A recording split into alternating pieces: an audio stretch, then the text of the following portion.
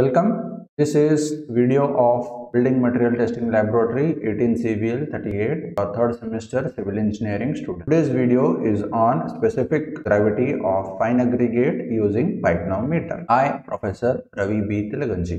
Specific gravity of fine aggregate using pycnometer we are going to conduct. Aim to determine the specific gravity of fine aggregate means sand, theory and the scope of experiment. Specific gravity of an aggregate is defined as the mass a given volume of a sample to the mass of an equal volume of water at the same temperature. The specific gravity of the fine aggregate is generally required for calculations in connection with concrete mix design for determination of moisture content and for the calculation of volume yield of concrete. The specific gravity also gives information on the quality and properties of aggregates. So doing this experiment we are able to get quality of the aggregate and the property of the aggregate. Apparatus required we require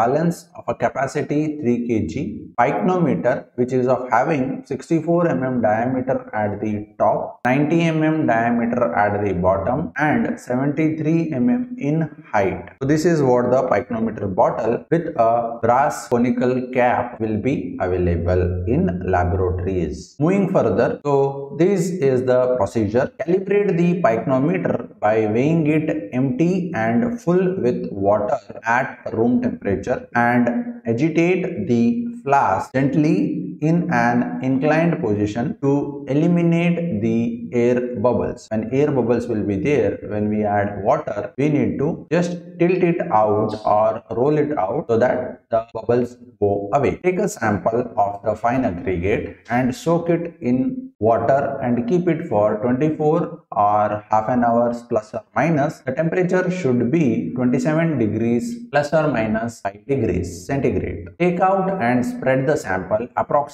we have to take 1.5 kgs on a clean flat surface exposed to gently moving current of warm air means where open air is there we are going to spread it on it until the material just reaches free running condition free flowing freely means no moisture is present or moisture is present but it is not having any moisture on its surface immediately weight 500 grams of saturated surface dry sand in the flask. Fill the flask with water to the top of a cone. Roll the flask in the inclined position and eliminate all the air bubbles and replace with water by means of fountain pen filler. Means fountain pen filler we are taking it and fill the water. Wipe the flask dry and weigh it accurately.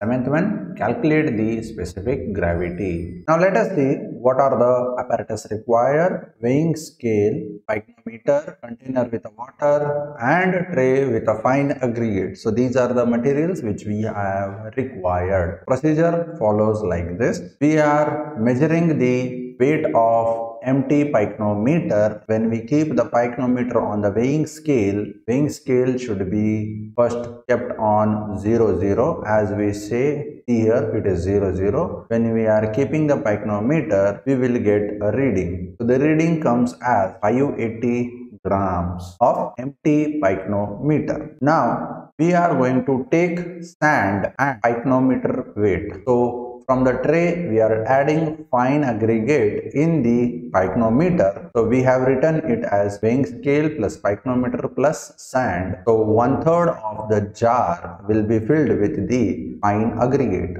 like this now the weight will change. The weight changes to 1050 grams which is weight of empty pycnometer plus sand.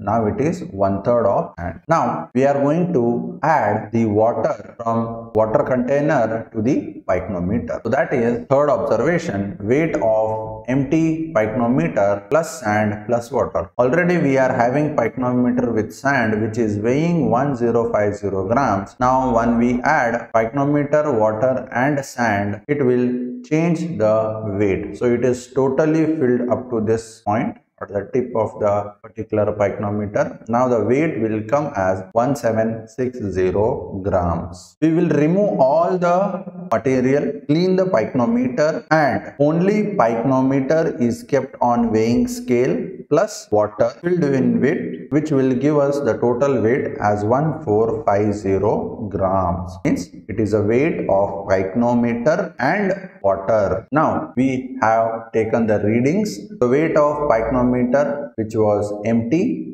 was 580 and pycnometer plus sand 1050 weight of pycnometer plus sand plus water 1760 weight of pycnometer plus water 1450 now calculation of specific gravity. Formula is w2 minus w1 means w2 minus w1 we are able to get amount of sand available. That is volume of fine aggregate available and w4 minus w1 w4 minus w1 we will get water. And w3 minus w2 we will get the amount of water which was carried by the same amount of uh, sand. That is same amount volume amount of sand. How much it is weight? So substituting the values into the given formula we get the specific gravity as 2.93 this is first trial. Doing the second trial it will be having these readings and this is the specific gravity.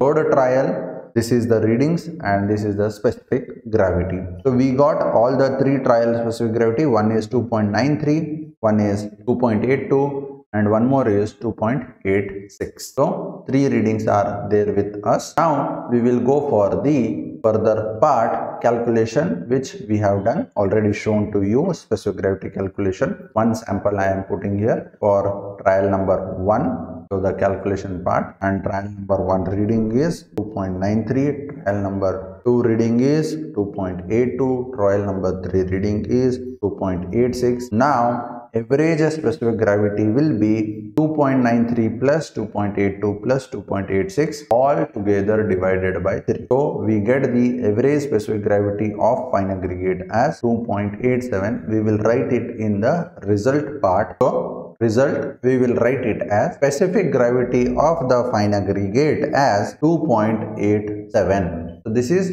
what will be the specific gravity of fine aggregate using the pycnometer thank you